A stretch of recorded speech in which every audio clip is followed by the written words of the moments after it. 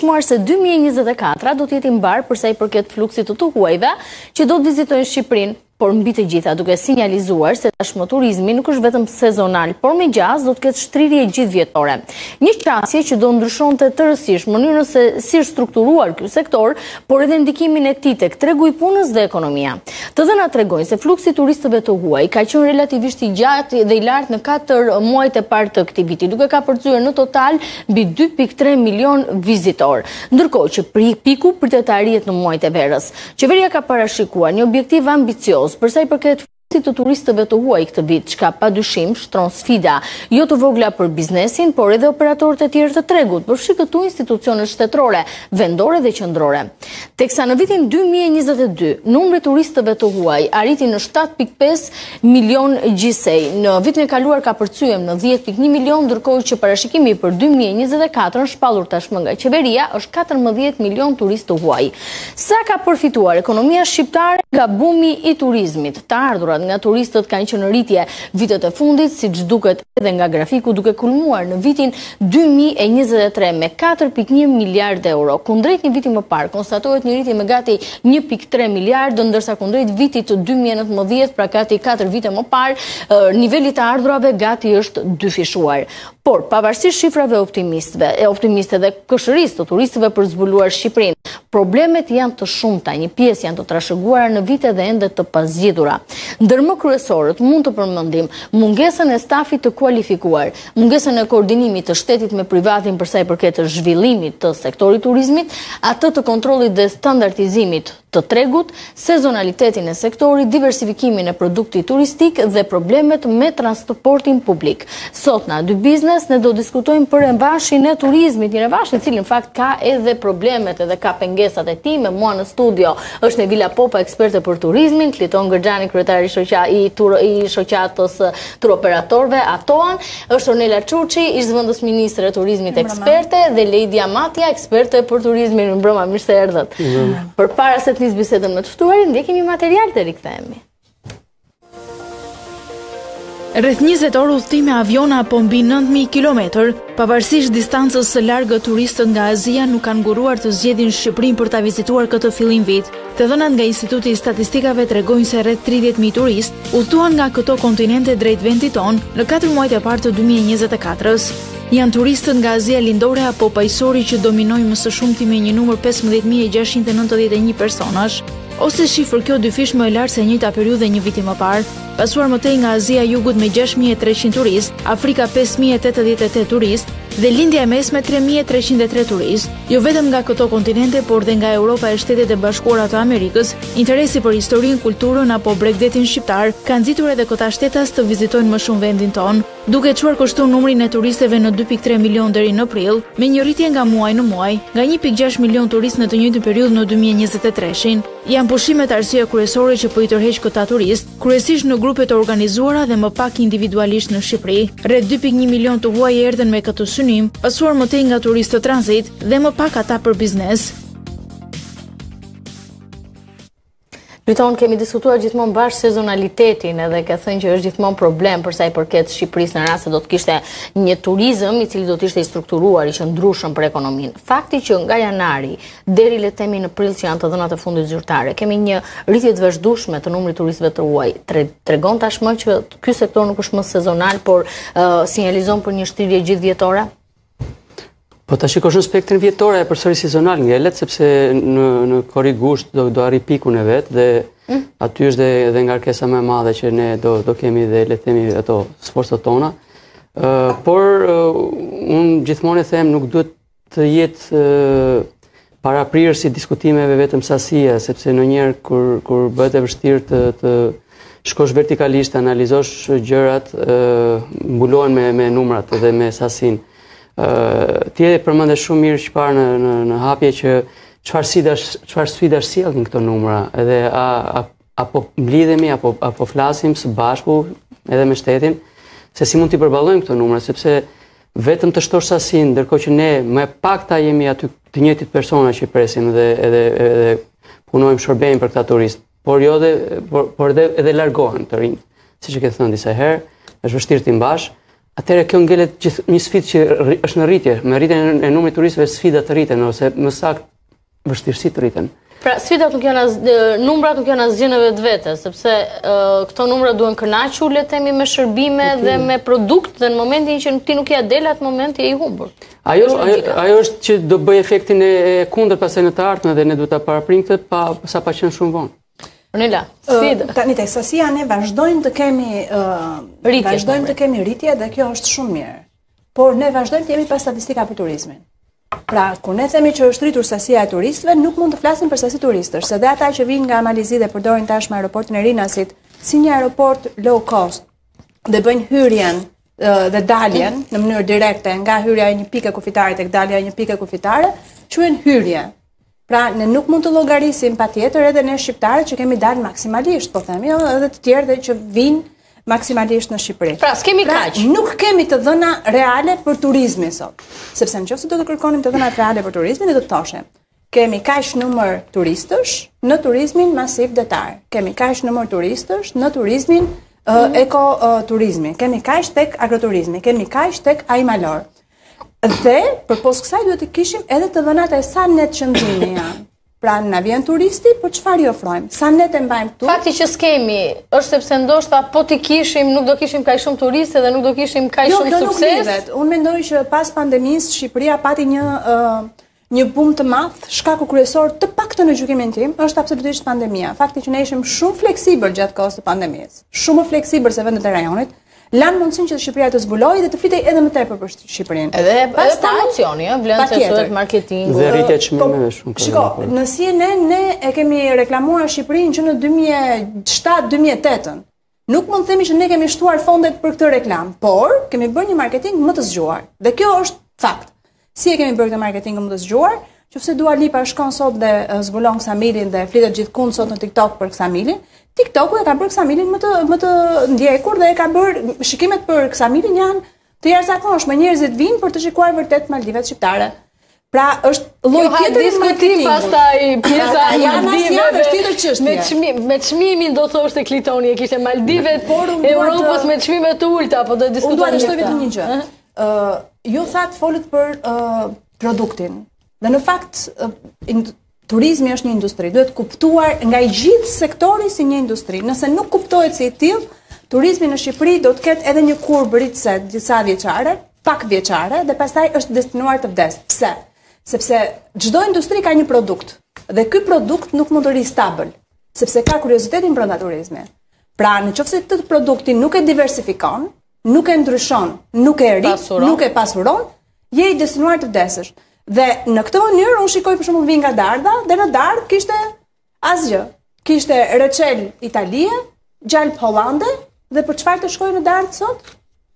Ndërkohë që investimet janë bërë të gjitha, pra Qartë, duhet le të themi që të të përpiqemi që edhe atë që na i ka dhënë Zoti ta pasurojmë me atë që kemi kulin. Po, uh, se Dardha nga Zoti është investuar me gjithçka. Qartë, kulinari. Ka dhe kishë që ishte mbyllur, ka dhe muze që ishte mbyllur për të shtunë të diel, pra gjithçka që ishte investuar, ishte e pashfrytëzuar e në jo në funksion dhe kështu destinacioni vdes. Lidia. Të rikthesha një çik përsëri aty ku e filluam pjesën e sezonalitetit. Ë sezonaliteti është një e keqe e madhe e turizmit dhe nuk e besoj që e kemi shmangur. Në fakt numrat që ne fshehin uh, Pikërisht një të keqe shumë të madhe, që po vijnë gjithmonë e më shumë turistë, do të thotë që kemi gjithmonë e më shumë shfrytëzim të burimeve, që do të thotë që ne nuk kemi në në gjendje që t'i kontrollojmë menaxhimin e burimeve natyrore, kulturore e tjera ashtu siç duhet. Dhe do të kemi shumë probleme në një kohë shumë të afërt me qëndrueshmërinë e turizmit. Pra me atë që gjithë bota sot thotë, të shkojmë drejt një turizmi të qëndrueshëm. Në fakt ne s'po bëjmë asnjë gjë që të sigurojmë një turizëm të qëndrueshëm. Lidia, kur thotë të qëndrueshëm, do të thotë që të kemi një turizëm i cili ta dimë sa të punësuar ka çdo vit, sa është kontributi që jep në rritjen ekonomike, jo, jo, si si jo. duhet kuptuar. Atëherë turizmi i qëndrueshëm është një turizëm që nuk dëmton burimin primar të mhm. atraksionit turistik në kohë. Pra, nëse turistët vijnë këtu për burimet natyrore, për të parë Shqipërinë, për të provuar natyrën, për të parë malet, hiking, biking, edhe gjithë këto format e turizmit, atëherë ne nuk duhet ta shkatërrojmë këtë burim natyror, as malin, as lumin, as detin, asgjë. Në fakt, turizmi masiv e shkatërron deri në themel burimin. Atë pra, këtu është diskutimi që ça lloj turizmi duam. Jo vetëm jo, po turizmi masiv në fakt. Midis një mbrojtjes sezonaliteti që sjell uh, sezonaliteti sjell turistë në një kohë të caktuar me flukse të shtuara turistike. Ne dimë se nga qershori deri në shtator ne kemi aq shumë flukse dhe aq të pa menaxhuara qoftë në nivelin lokal, qoftë në nivelin qendror, po as agjencitë turistike dhe privati nuk i kontrollon dot, thjesht merren me menaxhimin e kërkesë ofertës. Nuk jemi në gjendje që të menaxhojmë burimin. Ne nuk jemi në gjendje që të themi që detin e lamë të paprekur, detin edhe mbasi ikin turistët në shtator, është siç ka qenë që në fillim, dhe jo vetëm aq, po që të kthehet një burim natyror në gjendjen fillestare, të paktën që të kthehet deti, duhen 10 vite të pashfrytëzuara, pra ta mbyllësh atë burim. Që ne s'e kemi luksin ta bëjmë. Absolutisht nuk e kemi. Nevila. Po, uh, sezonaliteti nuk në një farë mënyre nuk e shmang dot, për shkak se ne jemi një destinacion i cili kemi vijë bregdetare. Dhe kryesisht pushimet në vijat bregdetare nuk janë, të, domethënë gjatë gjithë vitit, po janë në pikun e sezonit dhe kur njerëzit marrin pushimet dhe vijnë me familjet, po dhe ato vetë që lëvizin. Se dhe ne vetë kur lëvizim jashtë dhe kuptojmë që nuk shkojmë gjithë në në në hapësirën e gjithë vitit. Ë uh, por ajo që duhet bërë në sezonalitetin është që si ta shtrijmë këtë sezon në mënyrë që turistët me interes të caktuar Ne t'i drejtojmë në atë produkt turistik që ne do të ishte mirë ta kishim të mirëvendosur, siç e folën dhe parafolësit, pra një produkt turistik që mbështetet në, në atraksionet tona kulturore, natyrore, por në një mënyrë të qëndrueshme, pasi turizmi në një farë mënyre dëmton, por ne duam që të sjellim të ardhura, por duke pasur minimalisht dëmtime në një afat kohor sa më të gjatë. E thënë ndryshe kjo që numrat e turistëve ne na duhen, por ato mund të jenë të shtrirë në një afat kohor më të gjatë në mënyrë që dëmet t'i kemi më të vogla, po ndërkohë ne të kemi një gjatësi të po, kësaj ekonomie dhe të ardhme. Sepse në momentin që ti propagandon dhe turistë dhe qeveria të duhet 14 milion nga 10 Në momentin që Klitoni thotë, nuk i kemi mundësitë për të prit 14 milion, se s'kemi kamarierë, s'kemi banakierë, nuk kemi sanitarë, nuk kemi disa rrugë pa bërë, kemi disa shërbime pa ofruar. Si bëhet tani që dhe të ruash dhe, edhe qëndrueshmërinë, të kërkosh dhe shifrat, edhe t'i kënaqësh, pra duket si një ekuacion me shumë ndryshore, pak e vështirë që të zgjidhet. Nuk është e thjeshtë, po çdo gjë, asgjë s'është e pamundur. E thjeshtë nuk është, po asgjë s'është e pamundur.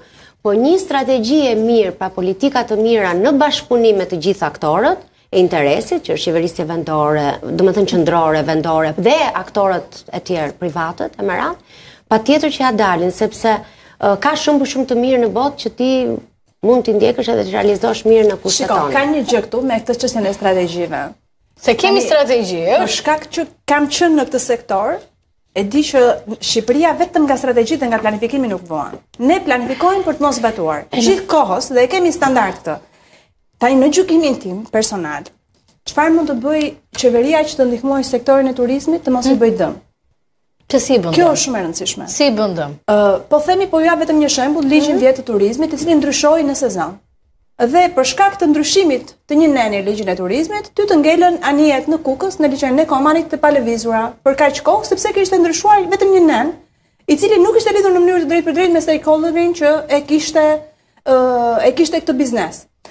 Në gjykimin tim prap, unë mendoj që ata që e njohin më së miri sektorin është biznesi. Është biznesi që e ka zhvilluar plotësisht turizmin në Shqipëri. Nuk është asnjë qeveri. Në 100 vjetët e shkuara po deshe të marrim, nuk mund ta bëjë asnjë qeveri nëse nuk zhvillohet biznesi. Nëse nuk ka kërkesë dhe nuk ka ofertë dhe nuk ka pastaj edhe shërbimin e ofruar, nuk vdes, nuk bën çfarë do qeveria. Në momentin që qeveria do ta konsiderojë biznesin, ofron le të themi disa tjetër është aktor i rëndësishëm. Është jo, ajo që do jo do dal tek pse? Ëm, ajo që do thoja unë është kjo që në momentin që ne shkojmë duke marrë nga vetun e para, shkojmë aty dhe bëjmë gjithçka ditësin, ndërkohë që gjithçka e di vetëm biznesi dhe po duhet t'i përshtatemi asaj që biznesi do të zhvillojë dhe mënyrën si do ta zhvillojë. Qeveria dëgjon biznesin, këtu është dasa diskutimi. Nuk, nuk mund të them që ju dhash shembullin e fundit se si për një nen Nuk e ka dëgjuar. Dhe ligji turizmi vazhdon të jetë si një shkak të koordinimit. Mos koordinim. Nuk është çështja që nuk duhet të kemi aftë. Nuk duhet të bëhet dëm. Patjetër. Lëm të them një shembull tek ajo tek ajo që nisi Ornel. Atë gjalpin e Hollandës apo çfarë ishte tjetra që gjetën në Dardhë. Ka ndonjë rol për shembull që mund ta bëjë qeveria apo është thjesht biznesi e gjeti më lirë gjalpin e Hollandës dhe s'ka s'ka s'ka dëshirë të blejë gjalpin e zonës vet, për shembull, ëh, sa për të ngacmuar bisedën. Jo, jo, dakord, dakord. Nuk është problemi se... Nëse ti mendon që qeveria do dali dhe do kontrollojë gjalpin e Hollandës... Nuk ishte kjo atëherë, atëherë ja të them unë se nuk besoj. Atëherë është kjo që për po të them unë çfarë duhet të bëjë qeveria. Qeveria s'e mund përfaqësojë biznesin. Biznesi e bën edhe pa qeverinë. Biznesi e bën edhe qoftë se qeveria s'bën asnjë gjë përsëri e bën. Po biznesi e bën më mirë qoftë se qeveria është paralel me ne në këtë tavolinë. Aurora tha, ato pyetjet e vështira, që janë të vështira realisht, duke pasur duke kërkuar këtë, duke kërkuar është me shumë është një ekuacion me shumë të panjohura, duke qenë një ekuacion me shumë të panjohura që do të shtrish sezonalitetin, po do të të diversifikosh, po s'ke njerëz në Shqipëri për të shërbyer, po në anën tjetër është me të vërtetë është sfidë, edhe për ne që jemi çdo ditë duke u përballur sfidë, duke qenë të gjithë në tavolinë, sepse është Është sfidë e të gjithëve, nuk është sfidë e biznesit. Qeveria është pjesë e jona, edhe janë njerëzit, qeveria nuk është dikush që vish, vesh një xhaketë nuk e heq asnjëherë. Nëse do rregullohet, do vijë ndoshta po do bëjë dhe ai biznes. Pra janë po shqiptarët që do ta menaxhojnë këtë gjë. Të mirë, le të themi në këtë moment që duhet ta mirëmenaxhojmë.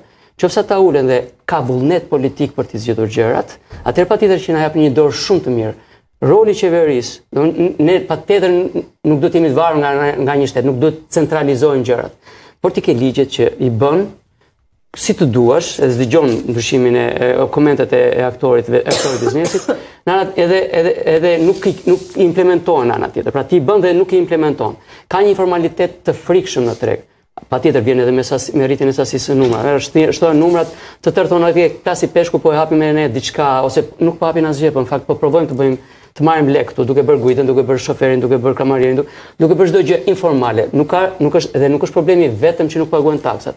Po këta njerëz janë të pakualifikuar, ne nuk dimë se ku përfundon shërbimi i tyre, çfarë dëmi bën, të gjithë bizneset vuajnë, bizneset e rregullta vuajnë për të marrë fatura dhe u rritet barra fiskale duke mos pasur fatura për shërbimet që ofrojnë, e gjitha kjo pastaj kanë del jashtë kontrolli sepse mund të krijohen dhe incidentet, miksohet shumë produkti, ti s'merr vesh Çka, ça ofron Gjirokastra në ndryshim me me bllokun e Tiranës? Më kanë ardhur komente para pak ditësh ku kërciste diskua në 12 të natës në në qafën e pazarit.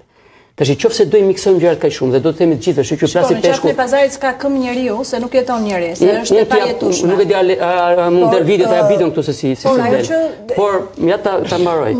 Qoftë se ne do japim të gjithëve mundësinë të bëjnë biznes dhe me çdo, bëni biznes se plasi peshku, diçka të dëmton, më duket e përmende dhe ti që parë, pra ai produkti. Pra qoftë se do dëmtohet produkti, njeriu nuk dallon dot më pse do të vejë këtu dhe jo atje. Po e bëmë gjithçka si Ksamili, duke ftuar instagramsat, dhe, dhe hajt se plasi peshku, se në Maldive s'vemi dot, por në Ksamil është një, një, një euro birra,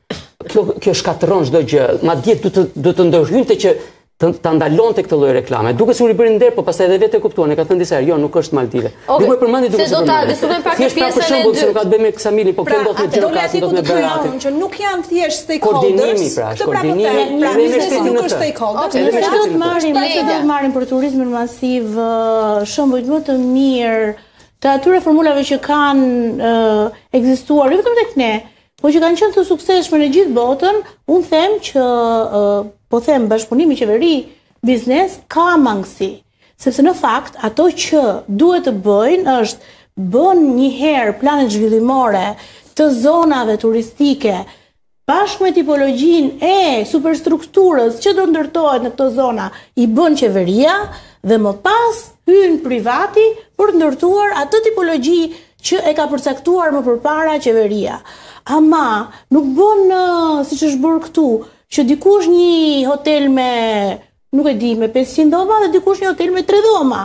Ëh, pra ka plane të mirëfillta dhe këtë duhet të bënte qeveria dhe këtë duhet ta bëjë dhe në dijeninë time ka qenë edhe një agjenci e zonave bregdetare e cila ka lindur me këtë mision, por nuk e ka nuk e ka zbatuar këtë mision asnjëherë, as në momentin e lindjes, as tani nuk nuk e kemi. Ato kanë thënë ku nuk duhet të ndërtohet, por fatkeqësisht i kanë bërë një dëm shumë të madh vendit se nuk e kanë thënë çfarë duhet të ndërtohet dhe ku duhet të ndërtohet.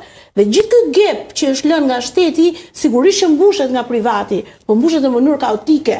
Mbushet siç është mbushur sot, që ne sot tani nuk dimë se ku të shkojmë, që biznesi ka gjithë këto halle dhe gjithë e ndjejmë që turizmi ka shumë probleme, o po si do bëhet që të, të shkojmë, të zgjidhim këto hallet e, e turizmit me kostot minimale të mundshme, të themi, ja. Në vila, për çfarë vjen një turist sot që s'ka filluar ende sezoni, nuk ka filluar ende plazhi, nuk ka filluar ende koha e mirë. Ne shohim nëpër Tiranë, shkon te sheshi dhe sheh grupe pa fund. Shkon në zona të ndryshme sheh pa fund. Ky është fakt. Patjetër. Për çfarë vjen? Po, uh, ne i quajmë kryesisht këto, jo, jo pikun, siç Kliton e përmendi, që janë uh, korrik-gushti, domethënë, po këto krahët e krahët e sezonit, domethënë që fillon pranvera dhe vjeshta, po që janë shumë të rëndësishme. Ka filluar fakt që në janar, ne kishim për më tepër grafikisht, prandaj unë thashë, po ndryshon sezonaliteti sepse maji ishte ajo që fillonin turistët e huaj. Po sepse ka dhe individë tani, kemi ne kemi shumë tipologjinë e turistëve që ne i quajmë uh, fit uh, shkurtimisht FIT edhe ato me numrin e fluturimeve që është rritur në Shqipëri të low cost airline-et që uh, uh, kanë ardhur, i kanë dhënë mundësi dhe akses që njerëzit në një kohë të shkurtër dhe me një mm -hmm. kosto shumë të lirë të munden të vijnë në Shqipëri, për më tepër që Shqipëria në media uh, është marketuar shumë si një destinacion i lirë që për ne besoj uh, nuk duhet të jetë kështu, uh, duhet të jetë që Shqipëria është një destinacion i komfort në një farë mënyre ose affordable ndryshe siç e quajnë, pra i pranueshëm. Sepse kur je i lirë, ti e ke të vështirë të ngresh atë stekën e standardit, po dhe të çmimeve. Po edhe le të themi edhe llojin e turistit që ti tërheq, është ai turisti le të themi i varfër. Ne nuk është që do të komandojmë. Turisti i mirë Se gjithmonë sa herë unë them turisti i mirë ha kritika edhe nga ekspertë ekonomie pse i thua i mirë apo i keq s'ka turistë të mirë. Në ekonomi ka turistë të mirë dhe turistë të keq. Turisti i mirë është ai që vjen dhe shpenzon, është ai që i duhet ekonomisë. Ai që vjen me bukë me vete në ekonomi nuk është i mirë. Po mirë, po ai që shkon backpack, që shkon në majtë malit dhe jep lekët e rakisë, të kafes, aty në majtë malit që s'ka të ardhura të tjera është turist i keq? Ai është jo, tjetër. Unë besoj se ai mali do të bëhet si Brezovica, që aty të mos shkojë ai me backpack, po të shkojnë ca të tjerë dhe të shpenzojnë më shumë dhe ta zhvillojnë jo, malet edhe për pjesën zona të mbytura, nuk janë të bërë të gjitha si Brezovica, por jo, na do ta bëjmë mali që kanë model që se kemi. Herën e fundit që kam qenë unë në ca bujtina të vogla, ata mhm. shkojnë, han drekën ose thjesht shkojnë për t'u larë, për dushin, paguajnë dhe ikin. Por atje në majtë malit në bjeshkë, në Bjeshkët e Namuna. dhe i lënë lekë atyre njerëzve që kanë shkuar lart nëpër stane dhe mbajnë bagëtitë e tyre. Po ai pra, turisti që vjen me vjen me çadrën e vet dhe hoteli rri e shikon edhe te lulishta e vet ose te baçja e vet ngre çadrën ai turisti ça na duhet. Ti thua që t'i heqim këta mos jo, jo, ti. Jo, jo, ne nuk i ne do të filtrojmë, në fund të ditës ne kemi dalë që t'i shërbejmë dikujt që të na kthejë diçka mbrapsht, sepse po erdhi këtu, mos harro çdo turist që vjen këtu, ne harrojmë këtë gjë. Domethënë prandaj them që bëhen analiza dhe ne analizat i bëjmë në studio televizive për fat të keq vetëm. Çdo turist që vjen këtu, më shih bën këtu, edhe mbajeni fort. Çdo turist që vjen ka një kosto, ne e paguajmë për çdo turist që vjen. Ai ndot në njëfarë mënyrë si çdo çdo kush që janë. Si çdo banor. Pin ujin, përdor korrentin se fare fare pa gjë nuk është. Pra, edhe në Tiranë që themi, vijnë vërdallë. Sa është taksa e qytetit të Tiranës? Po taksa Airbnb sa është Tiranë ose një, një, një apartamenti. Pikërisht, ky është sistem informal Airbnb, a ende? Jo, që do duhet të futet. Po e di sa mund të kapacitet kemi, a dalin te statistika që më the çfarë. Ai paguan se paguan. Dalin te statistika që më the çfarë. E di sa janë raporti i Airbnb-s me hotelet edhe në Tiranë, po deshe pa le ç'bëhet andej në rrethet. Dhe kjo është ajo që po flasim. Qoftë se ai shkon në Airbnb dhe sa herë që flas për Airbnb sepse kanë një koment të tjerë pronarëve të Airbnb-s. Qoftë se shkon vetëm në Airbnb dhe nuk përdor asnjë gjë, por ndërkohë ë përdor ujin e atij apartamenti, drita, përdor çdo lloj gjëje dhe ne ecën, domethënë ne për çdo ne kemi një qytetar në Tiranë ka disa taksa na vijnë, ë i dim, mund të jetë 4, 5, 6 lloj taksash. Nga është taksa edhe në rrethe të tjera nuk e di se ç'po jo, po sa është ajo pra, është vetëm tek hoteli e para, po pra. vetëm te hoteli tek. Kjo po themi pra që Ky dhe sa lidhet me këto taksa ne turistët, turistët tanë në përgjithësi janë bashkëqytetarë, nuk i kemi turistë. Ça vijnë këtu? Vizitorët i kemi bashkëqytetarë, turistë nuk i kemi. Ose le të themi raporti bashkëqytetarë, turistë rrezik është 70 me 30. 30% mund të jenë turista, 70% i kemi bashkëqytetarë, që nuk paguajnë taksa. Kjo është problemi kryesor. Pra po ta përmbledh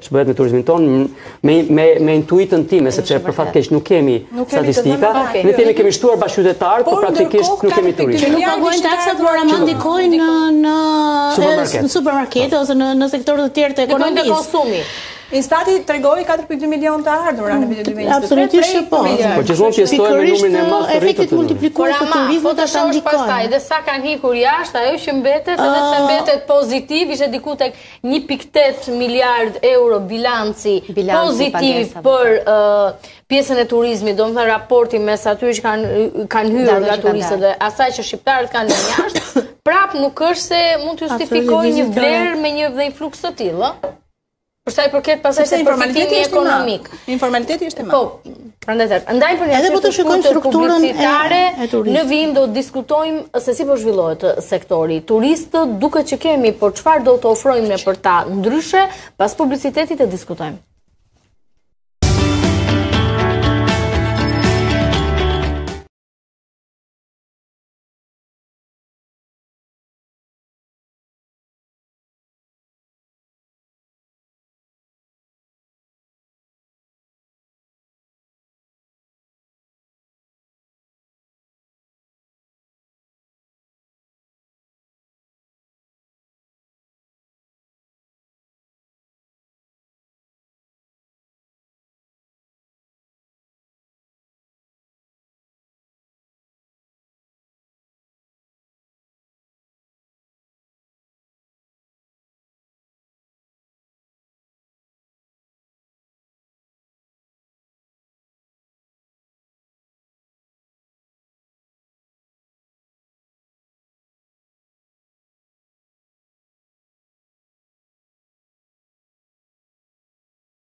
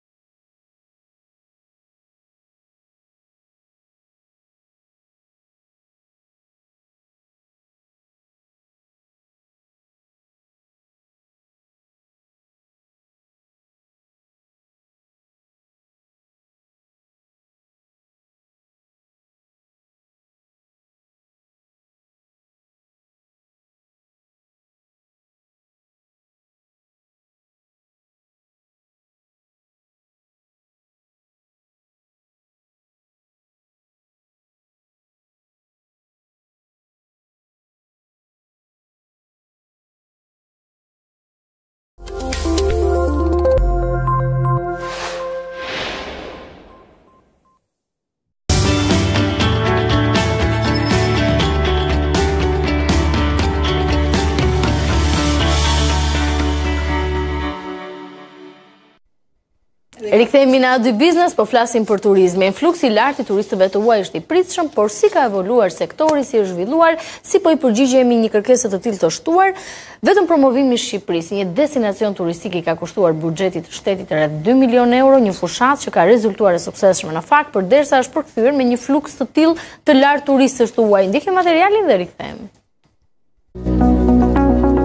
Bukuritë natyrore dhe kosto e ulët nuk mjaftojnë, që nami i mirë të dalë e kurioziteti të vazhdojë ka nevojë për promovim.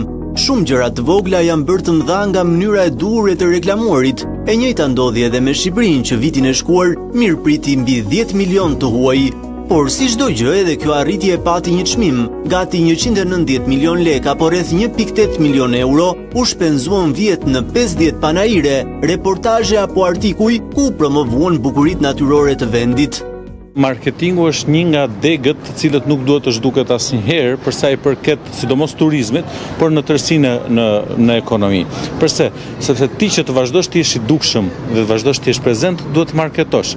Tani, 2 milion euro në raport me 4 pikë shumë miliarda, të ardhura që vijnë nga nga turizmi, raporti është fantastik, domethënë çdo çdo institucion, çdo kompani, çdo biznes do të do ta ëndërronte një gjë të kësaj natyre. Dikur vendi më i izoluar i Europës, vitin e shkuar veçanërisht Shqipëria u kthye në një destinacion popullor turistik, të preferuar për shumëkënd, ndërsa dhjetra artikuj për perlën e panjohur të Mesdheut qarkulluan në mediat ndërkombëtare. Por këtu ekspertë të fushës kanë disa këshilla. Të bësh marketing nëpër media shumë ekskluzive, siç mund të jenë The Economist apo BBC, janë media të cilat nuk kapin të gjithë target grupet e turistëve që ne na interesojnë. Po, këto do të jenë, atëherë kur ne të arrijmë ashtu siç thotë qeveria në turizmin elitar, atëherë do të mund të shkojmë te këto media, por për momentin ne duhet të kapim target grupet në mënyrë më korrekte që është shtresa e ulët dhe shtresa e mesme e vendeve të pasura. Promovimi përmes emisioneve televizive, platformave sociale apo fushatave të marketingut janë një praktikë e zakonshme e promovimit turistik të një vendi dhe sipas ekspertëve edhe një nga faktorët e suksesit të Shqipërisë. Sipas tyre ka rëndësi që këto përpjekje të vijojnë që të mbajmë namin e mirë e që kurioziteti të vazhdojë. Na është bashkuar në Skype nga Durrësi Fatos Çerrenishti, është operator i njohur në qytetin bregdetar. Mirëmbrëma Fatos, mirë se erdhe në A2 Biznes. Mirë se ju gjeta, faleminderit për ftesën. Si ka nisur sezoni? Duhet të themi që strukturat turistike të të sidomos të gjirit të Durrësit janë që nga muaji mars, domethënë që janë në gatishmëri për të pritur turistët. Për hir të së vërtetës, domethënë në sidomos në muajin maj moti nuk ka qenë shumë i qëndrueshëm, kështu që është ndier edhe një farë mungese të turistëve në hotelet e bregdetit sidomos, por lajmi i mirë është që këto ditë ka filluar kanë filluar çarterat e parë të cilët sjellin turistë, po flasim për turizëm të organizuar. Mendoj që tani ka filluar domethënë Hotelet janë futur në ato shinat e punës së tyre në normalitet dhe mendoj që vera 2024 do jetë nga verat më të mira, domethënë që turizmi bregdetar ka ka ka parë deri më sot. Unë jam vetë jam optimist pasi shoh që kërkesat e tur operatorëve janë gjithmonë në rritje, biles Kërkesat e tyre janë më të mëdha sesa ajo që ça ofrojmë ne, kështu që mendoj që do jetë një nga vitet më të mira, sigurisht që dhe te inserti u pa qartë që është bërë një mos na duket një gjë e madhe sepse që që janë shpenzuar 1.8 milion euro për marketing, ndërkohë që po të shikosh buxhetin që harxhon Ministria e Turizmit Të vendet e rajonit është nga më ulëtat që ka Mali Zi dhjetë milionë euro, deri në njëqind milionë euro që e ka Greqia dhe vendet e rajonit dhe të tjera, domethënë Turqia nuk diskutohet dhe më shumë. Kështu që Fatos, e kemi bërë këtë diskutimin në studio lidhur me promovimin që u bë Shqipërisë në sloganin që janë Maldivet shqiptare me çmim të ulët. Ti je operator dhe e ndjen kontaktin e drejtpërdrejtë që ke me me vizitorët apo me turistët e huaj. I dallon kush janë ata që në quaj të mirë apo të këqij në bazë të buxhetit që kanë. Ky slogan, Maldivet shqiptare me çmime të ulëta, na ka bërë mirë apo na ka bërë keq? Duhet të themi diçka që çdo turist që që mbërrin në Shqipëri për ne është një aset, domethënë do t'i themi faleminderit që ai mbërrin pavarësisht se se, se sa se sa a shpenzon. E rëndësishme është që uh, ne i kemi të pranishëm dhe do jenë shërbimet që ne do t'i ofrojmë atyre sepse për fatin tonë të mirë strukturat hoteliere janë të reja Zoti na ka falë bukuri natyrore dhe bregdet domethënë që janë janë falë Zotit ato dhe i themi faleminderit. Kështu që nëse ne do rrit, ne, nëse ne do të rrisim shërbimet pranë hoteleve tona, sigurisht që do të kemi edhe një rritje të të, të nivelit të turistëve që mbërrijnë në, në vendin tonë. Tani, po, slogani na ka bërë mirë apo keq, se nuk m'u përgjigje. Ë slogani na ka bërë shumë shumë mirë sepse boll që ta vizitojnë në momentin që turistët vizitojnë Shqipërinë, ata që ne do rrisim shërbimet, do rrisim dhe çmimet, nuk do të kthehen më, dhe ta kuptojnë që këtu ishte një vend, nëse do të marrin atë që ata prisnin, biles mund të them këtë gjë që Në përgjithësi turistët vijnë me një opinion domethënë të dyshimtë për bregdetin shqiptar dhe kur ikin, ikin me opinione shumë pozitive. Për këtë domethënë jam garant që domethënë është kështu siç them unë sepse fakti që të njëjtit tur operator shtojnë numrin e turistëve për vitin pasardhës tregon se kanë marrë shërbimin e duhur ata kanë fituar lekët e tyre dhe ne kemi fituar lekët tona. Unë kështu e përkthej këtë gjë. Qartë. Kliton, na ka bërë mirë apo keq? Që të thua që ne jemi Maldive ne rrisim pritshmërinë artificialisht për këtë vënd. Dhe ne kemi pasur fat për këtë, domethënë rritja jonë deri tashti është pikërisht sepse njërzit vijnë me pritshmëri të ulët dhe gjejnë diçka normale. Pra ndaj kemi pasur edhe sukses. Momentin që ne rrisim stekën artificialisht, nuk besoj se na bën mirë. Na, nuk jemi gati ne të, për të qenë Maldive, ose kopje e Maldiveve të kujt, apo çdo vëndi tjetër kaq luksoz, le të themi. Kështu që, unë s'jam dakor që kjo të thua që Shqipëria është Maldive, apo Ksamili është Maldive, na bën mirë. Ne do themi që jemi Shqipëria dhe Themi se çfarë ka kjo Shqipëri. Po kjo pjesa e çmimeve të ulta, se dhe kjo është diskutim gjithmonë që tërheqim drejtpërdrejt këtë kategori turisti? Mos harro se ata njerëz që do vijnë, edhe qoftë se vijnë me mendjen se po shikojnë Maldivet, do mbushen plot me kritika se kush e di sa e kanë pritshmërinë pra. Dhe qoftë se qoftë se vijnë sepse gjasme janë Maldivet, po vijnë për çmime të ulta, pastaj janë ata turista që ne është diskutimi që është relativ për dikën është mirë, dikën është keq. Pra që a do të përzgjedhim ne një kategori të caktuar turistësh apo ça na vjen t'i themi Faleminderit që erdhi. Nevila, mirë apo keq na ka bër? Ë, uh, jo, unë shkoj në të njëjtën linjë me Klitonin që në rast se ne ngremë pritshmëritë e turistit, ne kemi për detyrë që këtë pritshmëri t'ja realizojmë me një produkt cilësor. Sepse edhe ne vet kur shkojmë diku, domethënë presim një produkt cilësor për atë që mm -hmm. ne kemi rrit pritshmëritë. Në rastin kur e kemi më të ulët dhe ne kënaqemi, atëherë jemi shumë mirë. Jemi në një fazë që kemi rritur numrin e, e mbërritjeve, po e them më mirë, mm -hmm. sepse nuk janë vizitorë e turistë, po t'i kthehemi statistikave, i kemi mbërritje këto në Shqipëri që janë 10 milionë, dhe kur të mundemi të realizojmë statistikisht mirë se kush vjen dhe bën çfarë lloj turizmi, atëherë do të jemi më në gjendje se ku ne duhet të fokusohemi Dhe se çfarë duhet t'i ofrojmë atij turisti që vjen për një produkt turistik të caktuar, kulturor, natyror, bregdetar, apo agroturistik, apo familjar, apo eko e me radhë. Dhe jo. Atere, nëse unë do t'i apeloja tregjeve turistike dhe do t'i thoja që këtu do gjejnë Maldivet, atere minimalisht atë që thanë të tërë, do të prisnin të huaj që të gjejmë një standard të tipit të Maldiveve, domethënë. Kjo do të përzgjedhi turistët. Pra, mhm. kjo do të përzgjedhi atë turist që dëshiron Maldivet, që nuk i ka parë kurrë Maldivet, por që mund t'i gjejë në Shqipëri me çmimet më të ulta. Nëse nuk ka shkuar kurrë në Maldive po pret që të vijë në, në Shqipëri, sigurisht që do ta bënte një zgjedhje të tillë, por nga ana tjetër, diferenca mes asaj që pret dhe asaj që gjen, sjell atë ose kënaqësinë ose pakënaqësinë. Dhe pakënaqësia, në rast se ka pritur shumë dhe gjen pak, ajo është pakënaqësia, atëherë nuk do të kthehet më. Do shkojë, do zbulojë destinacionin, Mirë nisur edhe nga këto shkaqe, por nuk do kthehet më kurrë. Do të lënë një destinacion të ri. Në numrit të turistëve të që kanë funksionuar. Nëse do të ishim ekspertë të marketingut, nuk dëshirojmë ose të paktën ekspertët e marketingut do të thonë, ne nuk jemi të dëshiruar vetëm për blerje, por për riblerje. Domethënë, nuk dua vetëm një turist që vjen vetëm një herë, vjen për kuriozitet dhe ikën në destinacione të tjera, po mundësisht një turist që të vijë 2-3 herë, sepse ai turist Bëhet edhe agjent i marketingut në vetvete. Turistët besnikë. Pra, turistët besnikë do t'i rekomandojnë edhe të tjerëve dhe Fjala e gojës është eksperiencat personale janë shumë herë më bindëse se sa çdo lloj eksperience tjetër që del nga komunikimi zyrtar i qeverisë për Tani eksperienca e saj, e ajo që ka që ka Ornela, Dua Lipa ka një eksperiencë personale. Është një person i besueshëm, kanali i komunikimit shumë i besueshëm. Fakti që kishin 10, 10 milionë. Po synojmë katërmbëdhjetë milionë. Fatosi tha, Nga turoperatorët shohim që ka më shumë fluks këtë vit. Tregon kjo që kanë mbetur të kënaqur vitin e kaluar, apo është le të themi në atë trendin e vet që dihet që mund të ketë tërheqje, është akoma në zbulim, pra mund të jetë akoma në atë periudhë edhe rritje sporadike? Një rritje e destinacionit, e rritje e shikueshmërisë kuriozitetit për të ditur ende.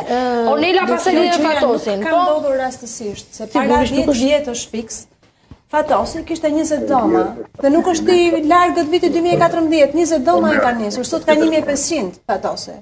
Pra në 10 vjet ka një rritje të jashtëzakonshme. Para 10 vjetësh fiks as në ëndrrat tona më të bukura nuk e kishim parë që do kishim 14 milion turistë. Pse?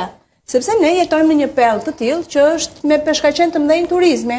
Ti ke Greqinë, si mund ta sfidosh Greqinë që ka 100 e ca vjet që njihet për turizëm? A si mund ta sfidosh të jap një kundërargument Ornela? Po. Pas pandemisë pati një ndryshim në qasjen që gjithë njerëzit në gjithë globin patën ndaj Parasë, të bërit biznes, të udhëtuarit, jetës, konsumit në tërësi. Dhe lëvizja turistike po. nuk ishte tipike vetëm për Shqipërinë. Kjo gjë u pa në gjithë botën. Pra, lëvizja turistike ndodhi në gjithë botën. Mirë, marrim një koeficient tjetër, po. dakord, marrim një koeficient tjetër. E marrim në përqindje. Sa je shtuar ti dhe sa është shtuar Greqia në përqindje? Pra ti je shtuar 300%, 400%, Greqia është shtuar 20. Është natyrale sepse ti ke qenë e panjohur. Ajo që po them është që po, sa mirë që na ka ardh kjo ditë që ne jemi zbuluar, se nuk na njihte njeri, nuk dinte ku binte Shqipëria. Po, po kjo është hapi i parë, hapi i dytë është të zbuluar dakord që kemi 1 miliard probleme, ne kemi probleme pa fund. Por shyqyr që na ka ardh kjo ditë, me thënë të drejtën, na ka gjetë papërgatitur, na ka gjetë. Këtu jemi dakord. Fatos. Por, Shqipëria, të them dhe një gjë tjetër, Fatos më fal. Të them dhe një gjë tjetër, mhm. Shqipëria është i vetmi vend sot në gjithë pellgun që njohim, që ke të paktën 4 deri në 5 resorte turistike të reja të inaguruara çdo vit. Të paktën 4 vitet e fundit, pas pandemisë, i ke standard çdo vit. Ke 4 5, 4 5. Që të paktën në këndvështrimin e investitorëve do të jetë një sektor me rritje afatgjatë edhe Absolutisht. Çka tregon që këta investitorë nuk e kanë bërë në ajër këtë, se kanë hedhur Kanë bërë një plan biznesi për, për vitet e ardhshme. Pra, i kanë lidhur kontratat, i ka mhm. shtuar Fatosi se ka lidhur kontratat me tur operatorë të tjerë të mëdhenj, Apollo s'e kishim parë ndonjëherë ne, sot Fatosit ia ka rregulluar dhe ia ka sistemuar të gjithë mënyrën e organizimit brenda resortit të vet, vetë Apollo se i do standardet të veta, por i ka shtuar dhe çmimin. Fatos, turistët i presim. Çfarë kemi ndryshe nga viti i kaluar? Do të çfarë ofrojmë ne ndryshe? Në shërbim, në produkt, në ofertë, në tërësi. Ku dallojmë nga 2023-shi? Uh, 2024 do të themi që uh, industria e turizmit ka një lloj tkurrje për shkak të, të, të rënies drastike të euros, e cila ndikon drejtpërdrejt në këtë industri, dhe them që do ta ketë efektin e vet te pjesa sepse resortet që punojnë dhe hotelet që punojnë me me kontrata garancie e kanë me shërbimin në përgjithësi gati në 90% i kanë shërbimet all inclusive, kështu që do ta kenë dorën pak më të shtrënguar ma do mendja se sa vitet e kaluara, por uh, jemi me një vit që ka, kemi një eksperiencë më të madhe se sa 2023-shi, të gjitha gabimet që janë bërë 2023-shi që s'i kemi realizuar mendoj që Dy mijë e njëzet e katër domethënë do jetë më mirë qoftë në shërbim sepse ne kemi identifikuar një bërthamë punonjësish të cilët ka e kanë kryer shumë mirë detyrën gjatë vitit të kaluar, i kemi mbajtur edhe jashtë sezonit turistik edhe pse nuk kemi pas mundësi dhe që kanë kosto financiare për për hotelerinë dhe i kemi gati tani për dy mijë e njëzet e katër. Kështu që mendoj që shërbimet do jenë në një nivel më të lartë se sa dy mijë e njëzet e tre-shi. Pra fuqia punëtore nuk është problem, je duke më thënë në dy mijë e njëzet e katër-ën? Mungesa e fuqisë punëtore? Fuqia punëtore Fuqia punëtore patjetër që është problem dhe ne nëse vitin, vitin që kaloi unë kisha 10% të punonjësve të huaj, sivjet kam do kem dyfishin e punonjësve të huaj, pasi shumë sektorë të ekonomisë unë nuk mund t'i mbuloj me punonjës shqiptarë, edhe pse zemra ma do që të që 100% e punonjësve të mi të jenë shqiptarë, por... Punonjësit e huaj në, në, në, në çfarë profesionesh, në çfarë kategorie shërbimesh janë po, kryesisht? Po, filloj nga, nga shërbimet, nuk e imagjinon nga shërbimet më ordinere, domethënë, nga dhe te pastrimi, ku di unë te plazhi, te lavapjatët, të gjithë, domethënë, po marr nga të gjithë, plus që edhe profesionistë, domethënë, të cilët janë sipas sektorëve te guzhina, mhm. te recepsioni, Te ambienti dhe menaxhimi do të thotë te të gjitha jemi detyruar domethënë të thashë që ato gjëra që kemi bërë gabim vitin tjetër ose kemi çeduar vitin që kaloi, sivjet i kemi zëvendësuar shumë pozicione puna, pune me punonjës të huaj dhe mendoj që kemi bërë zgjidhjen e duhur sepse nuk ka pasur zgjidhje të dytë që na një mundësi të dytë domethënë për të bërë zgjidhje Përsa i përket pjesës së punonjësve të shërbimit. Qartë. Fatos, një vit më parë kur unë kam realizuar në terren në Durrës A2 Business, nëse ty të kujtohet në takim me operatorët ku ke qenë i pranishëm por edhe me bashkinë, keni ngritur disa problematika, mes tyre transportin publik i cili ishte problem, një pjesë e infrastrukturës, a janë zgjidhur këto apo mbetemi në të njëjtën situatë të një viti më parë, sepse edhe kjo është Pjesë e ofertës turistike, vërtet nuk varet nga ju po. si operator, po varet nga një aktor tjetër, dhe një turist interesohet dhe për këtë gjë.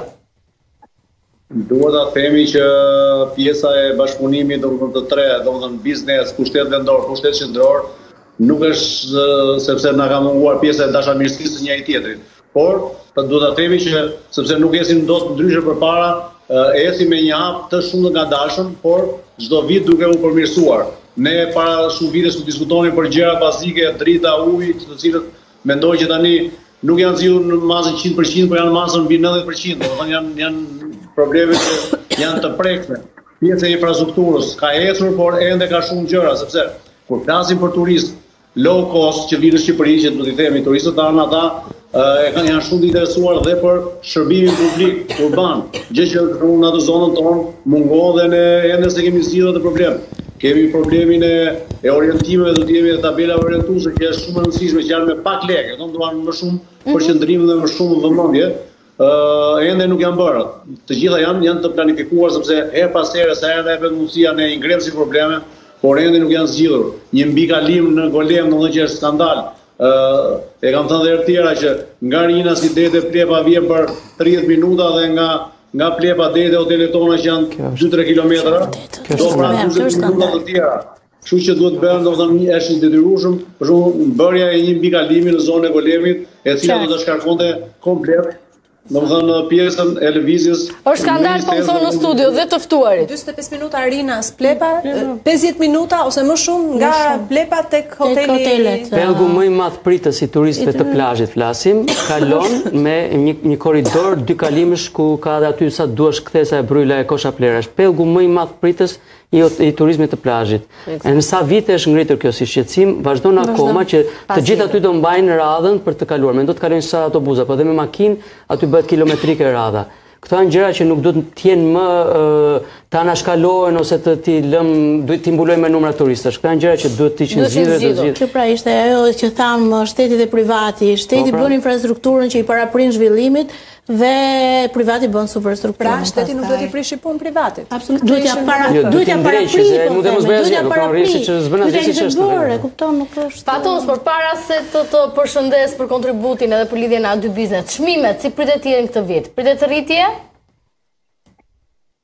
Jo mendoj, domethënë nga informacionet që kam unë, po unë flas për dhe për hotelin tim, janë të njëjtat çmime si vitin e kaluar, edhe pse kemi 20% domethënë të ardhur më pak për shkak të rënies së euros, domethënë çmimet do jenë të 2023-shit, nuk i kemi ndryshuar fare, është po e njëjta tabelë që kemi pasur vitin që kaloi.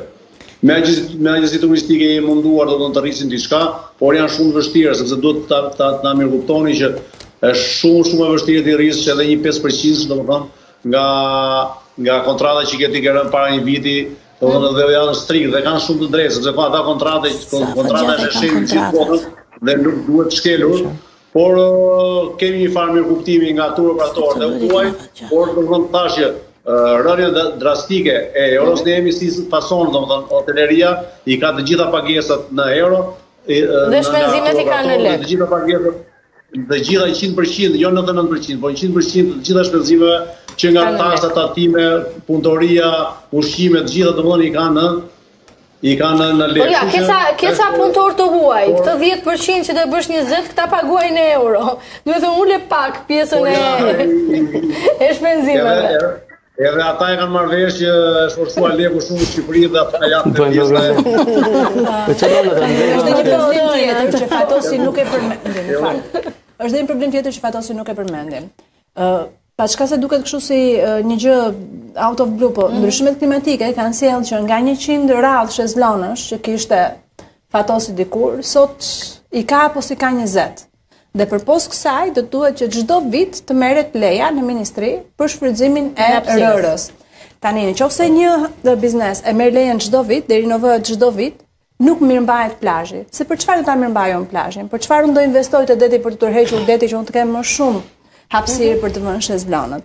Dhe ne vazhdojmë ende dhe japim që nuk është në asnjë zonë të rajonit tjetër, në asnjë vend tjetër, minimalja e ka minimumin e ka Mali i Zi 5 vjet, dhënien në përdorim të plazhit në mënyrë që ai që investon tek mirëmbajtja e plazhit ta marri investimin mbrapsht. Ta marri investimin mbrapsht. Të ketë mundësi duke e dhënë çdo vit vetëm dhe duke i lënë vetëm një vit kohë mhm. përdorimi është problem i madh. Edhe pse ne rritëm një revolucion të madh për ta dhënë për ta pasur të për ta qëndërzuar sistemin nga njëra anë, për ta bërë gjithin online nga ana tjetër që është shumë mirë për biznesin, nga ana tjetër ne ceduam prapë tek kohëzgjatja e mhm. gjithë kësaj. Fatos, nuk e di nëse ke ndonjë mesazh tjetër për ta mbyllur? Jo, ideja është që lajmi i mirë është që në çdo tavolinë shqiptare, në qoftë ajo shoqërore, familjare, lajtmotivi i çdo lloj bisede është dhe turizmi dhe kjo është një gjë shumë pozitive.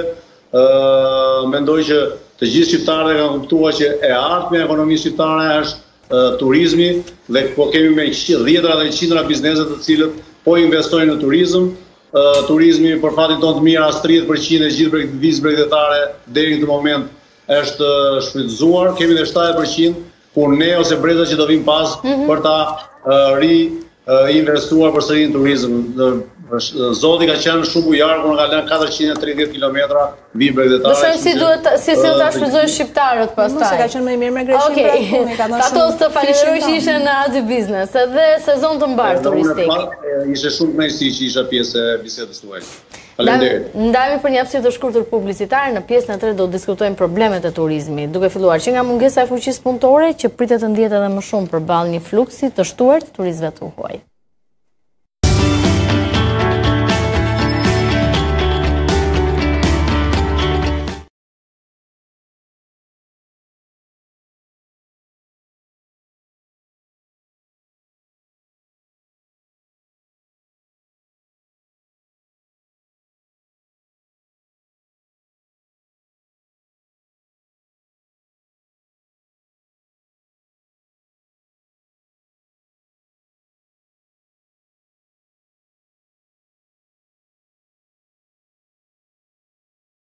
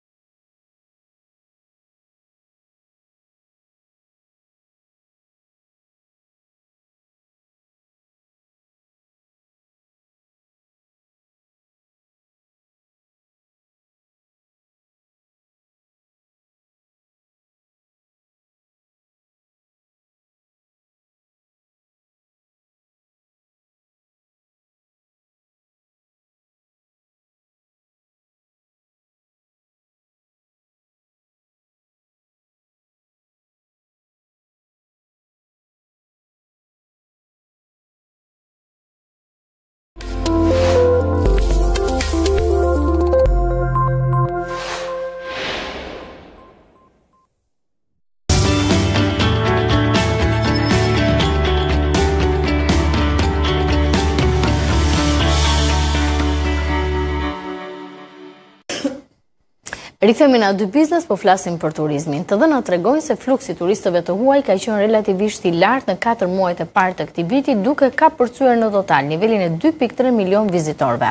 Ndërkohë që piku pritet të arrihet në muajt e verës. Qeveria ka parashikuar një objektiv ambicioz për sa i përket fluksit të turistëve të huaj këtë vit, çka padyshim shtron sfida Jo, jo të vogla në fakt, jo vetëm për biznesin dhe operatorët e tjerë të tregut, përfshi këtu institucionet shtetërore, vendore dhe qendrore. Teksa në vitin 2022 numri i turistëve të huaj arriti në 7.5 milion. Në vitin e kaluar patëm 10.1 milion turistë. Objektivi i shpallur nga qeveria për këtë vit është 14 milion turistë të huaj. Por, pavarësisht shifrave optimiste dhe kërshërisë së turistëve për të zbuluar Shqipërinë, problemet janë të shumta, një pjesë të trashëguara në vite dhe ende të pazgjidhura. Ndër më kryesoret, përmendim mungesën e stafit të kualifikuar, mungesën e koordinimit të shtetit me privatin për zhvillimin e turizmit, atë të kontrollit dhe standardizimit të tregut, diversifikimin e produktit turistik dhe problemet me transportin publik. Kliton mungesa e fuqisë punëtore, burimeve njerëzore, problem i madh këtë vit? Vjet ka qenë një ndër shqetësimet kryesore.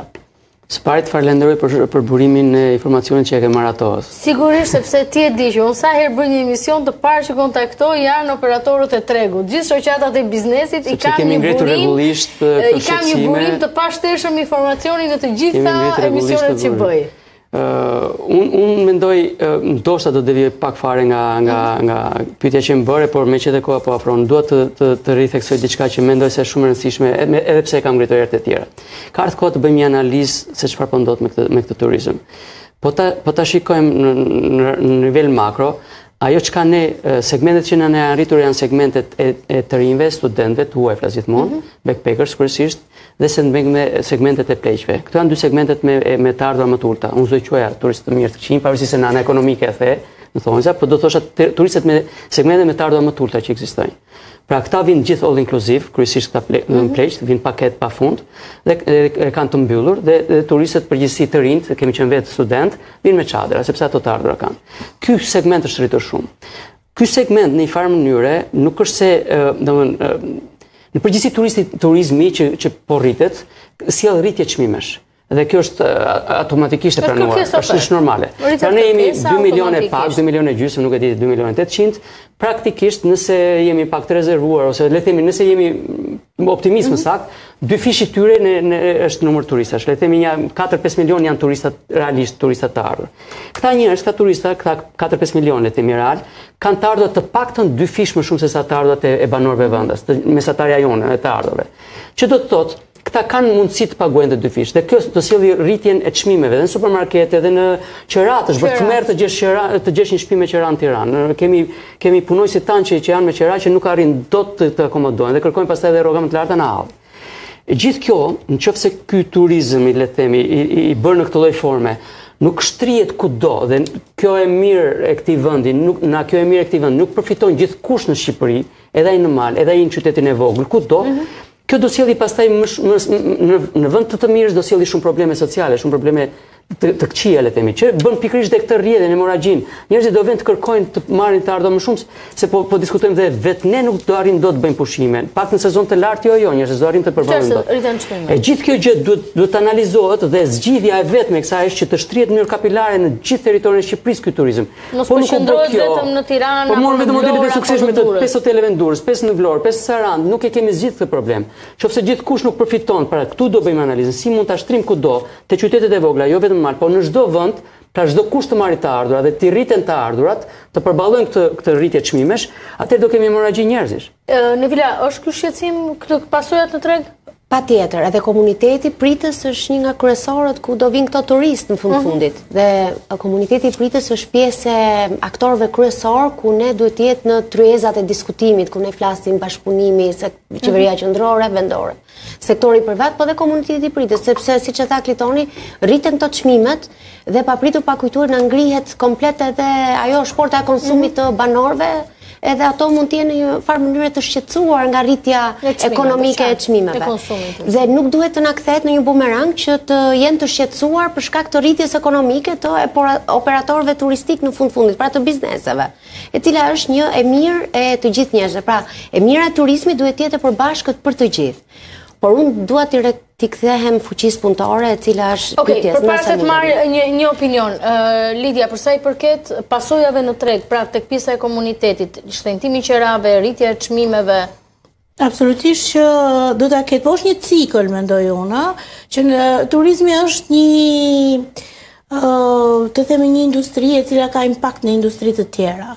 Nëse do të rriten çmimet e turizmit, sigurisht që në afatshkurtër do kemi gjithë këtë problematikë mm -hmm. shumë të madhe, por në afatmesëm dhe afatgjatë, nëse do të vazhdojë ritmi dhe nëse do të vazhdojë ajo që e përmendi dhe Klitoni, që ky turizëm me anë të gjithë formave të zhvillimit të vet, backpackers, turizmi malor, i fushës, turizmi ditor, turizmi i moshave të treta që sot ka është zgjeruar në gjithë vitin, sepse turizmi i moshave të treta është ai që të bëhet edhe në dimër, edhe në janar, edhe në në pranverë. Gjithandej duhet të po të bëhet në fakt, sepse ata të vijnë kryesisht në këto kohë, ë do të induktojë të ardhura në ekonomi. Të induktimi i të ardhurave në ekonomi sigurisht që jo në momentin e, e kur bëhet, por në një kohë të mesme, në një afatmesëm, do të sjellë të ardhura të disponueshme, zhvillime komunitare që do rishpërndahen dhe do të ketë sigurisht që të ardhurat e shqiptarëve do të jenë jo aq sa janë sot, po sigurisht do të kenë një koeficient më të lartë. Ata do të jenë më, më në gjendje të shpenzojnë. Në afat të mesëm dhe në afat të gjatë, thotë Lidia, kjo logjikë, por në afat të shkurtër, pasojat janë edhe tek qytetarët, të komunitetit. Ajo që mendoj unë, në, në afat të shkurtër çdo vend turistik ka edhe në afat të shkurtër dhe në afat të gjatë, po deshe ka probleme me uh, lokalët, me uh, njerëzit lokalë gjithkund. Në Ibiza, policët uh, ishte lajmi kështu e bëri on, po flinin në rulotë, se e kishin të pamundur për të marrë një shpi me qira. në nëse i caktonin në atë qytet për të shkuar, sepse çmimet ishin kaq të shtrenjta sa nuk ia mundonte asnjë. Duhet turizmi për të bërë një sfidë të tillë pastaj komunitetit. Ibiza është vend për për këtë çështje dhe çmimet i ka të larta për këtë çështje etj etj. Po ajo që do të thoja unë është kjo që ne na mungojnë analizat në nivel lokal. Dhe kur them në nivel lokal, ne do duam të analizojmë në çdo bashki të vendit. Mm -hmm. Sa turistë na erdhën, sa net qëndrimi na ndenjën, sa ishin femra, sa ishin meshkuj, cilat janë grup, shkro, grup moshat, cilat um, sa para erdhën, Po, përveç sa para sollën, pastaj se patjetër duhet analizuar mm -hmm. taksa se besoj që këtë e bëjnë të gjitha bashkitë.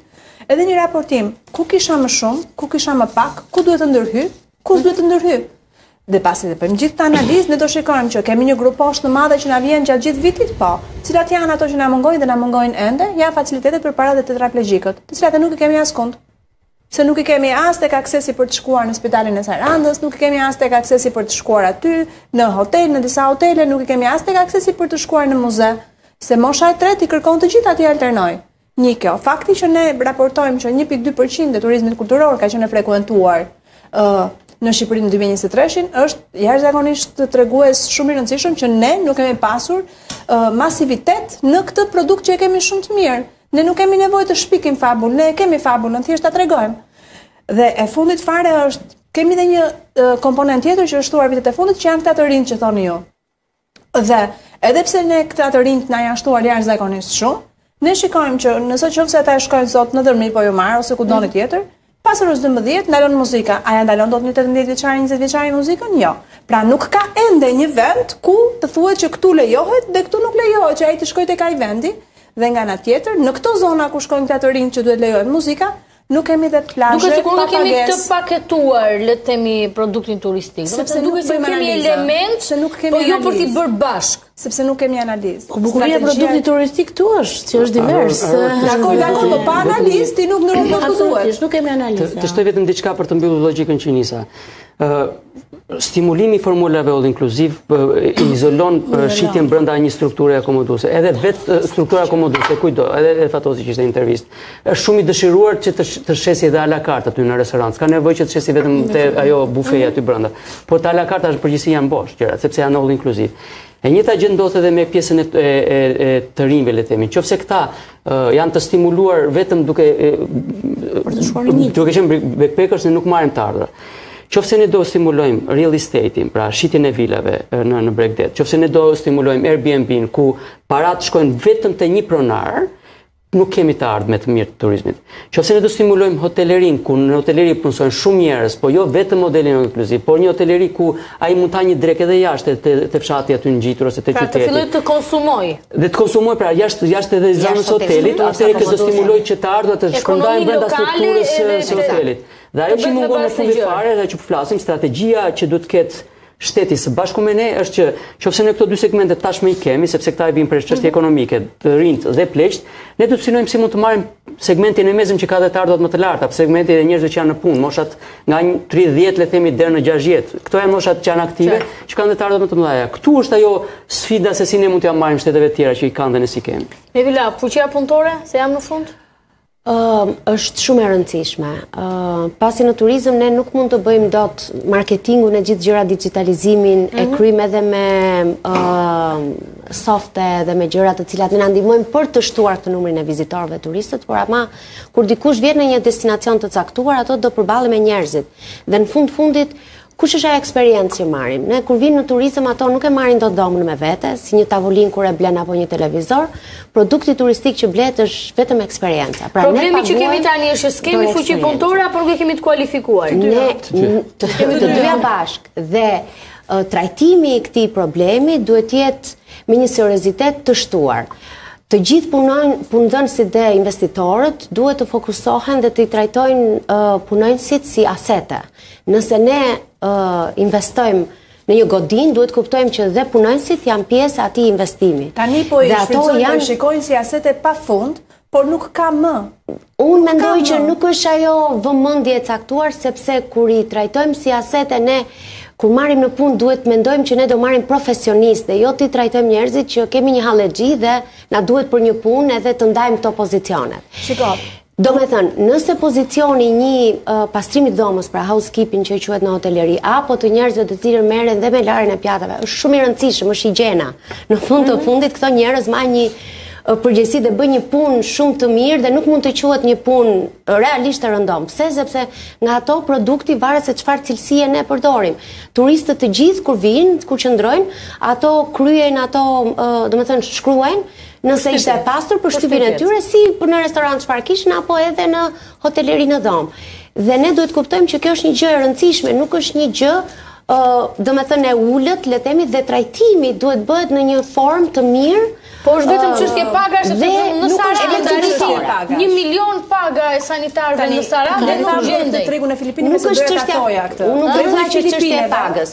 Është çështje e mentalitetit dhe mundësisë se si ti e trajton të gjithë ekipin ku ti do të ngresh edhe biznes. Ai që ka paguar 1 milion me 200 mijë ka siguruar edhe më pak. Nëse edhe kjo ka ngelur për gazeta, s'e besoj se paguajnë gjithë me 1 milion. Tani për këtë tregun e Filipinëve është më shumë ne jemi të 48 në radhë për të pritur nëse na hapet dera për të marrë këta punëtorët nga Filipinet. Ndërkohë që sapo para dy ditësh qeveria greke sapo miratoi me Indinë një marrëveshje bashkëpunimi për pa pa, pa nevojë për viza për indianët që vinin për arsye punësimi dhe e bëri shtet me shtet. Pra mban përgjegjësi shteti indian për indianin që vjen, mban përgjegjësi shteti grek për 6 muajt e qëndrimit në. Nëse ne nuk marrim iniciativa të tilla dhe ne vazhdojmë të refuzojmë vizat pa fund siç po ndodh sot me punonjësit e huaj në Shqipëri, do të gjejmë patjetër problematika edhe për sezonin që jemi aktualisht. Do të jemi. Ne mendojmë një për brezin e ri që i kemi këtu se po na ikin dhe pastaj mendojmë për indianët. Për të gjithë do mendoj. Unë kam qenë. S'është fenomen shqiptar vetëm, është fenomen i gjithë Evropës. Jo, është është një problem shumë i madh në fakt. Ne kemi probleme me stafin qoftë në numrin e atyre që duhet të shkojnë, qoftë në cilësinë që bën stafi. Për çfarë mhm. jo jo para shumë kohësh kam pasur ose kam dëgjuar një problem të tillë. Një personel që paguhej 200 mijë lekë të reja, që është shumë e dëshirueshme edhe për ne të gjithë që punojmë kudo dhe që la punën. Dhe arsyeja që për të cilën ai e la punën ishte sepse mbishfrytëzimi i stafit. Dhe gjithmonë vim ke pjesa që sa vlen puna e njeriut, sa uh, cilat janë ato benefite përtej pagës, të cilat duhen që ai njeri të rri në punë. Kushtet e punës, kushtet e punës, mhm. benefitet, uh, a ia vlen vetëm paga uh, gjithë përkushtimin, uh, talentin, aftësitë e atyre njerëzve që punojnë në këtë sektor të rëndësishëm, medoemos që jo, jo, jo vetëm në turizëm, por në asnjë sektor. Duan të tjerë janë elementët që pronarët e hoteleve apo kushdo që punon në industrinë turistike duhet t'i ketë parasysh dhe që janë shumë të ndryshëm nga demotivuesi i fuqishëm që është paga.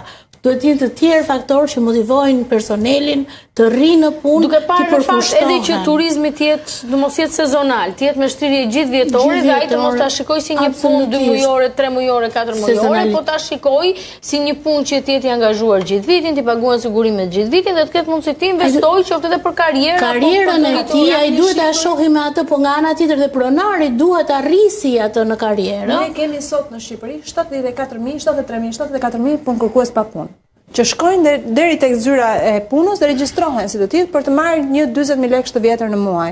Por ndërkohë nuk shkojnë të punojnë. Tani të mos flasim sikur s'jetojmë në Shqipëri. As të kualifikohen. Ne jetojmë në Shqipëri, njerëzit nuk po na shkojnë as të punojnë, as të kualifikohen. Mos mund të jap shembullin e sotëm.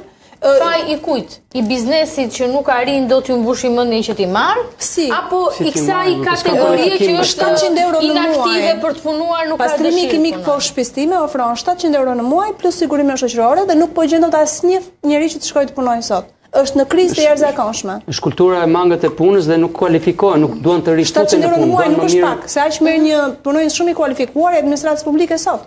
Po kjo nuk është vetëm problem i turizmit, besoj. Ky është i gjithë sektorit. I gjithë sektorit, sektorit të shërbimeve kryesisht në gjithë botën pas Covidit pas pandemisë. Ka zgjidhje si mund të bëhet për shkakun që të afrosh këtë kategori, se jam në minutat e fundit, për të afruar këtë kategori te pjesa e tregut të punës. Stimulimi nëpërmjet kualifikimit, stimulimi i garancisë së punës, pra ne duam të kemi një gyp komunikimi ndërmjet njerëzve që janë pa punë, shkollave që s'i kemi, ose ato pak që mhm. kemi, dhe tregut të punës, që t'i futësh në sistem dhe këta që janë, sepse edhe këta kanë një kosto nesër, edhe me këtë asistencë që marrin, do punojë dikush që t'i japi asistencën aty